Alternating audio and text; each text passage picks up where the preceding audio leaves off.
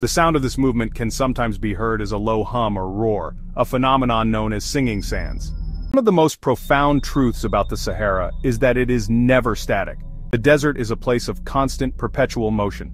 While the great climatic cycles unfold over millennia, change also happens on a much more immediate timescale. The wind, the desert's master sculptor, is always at work.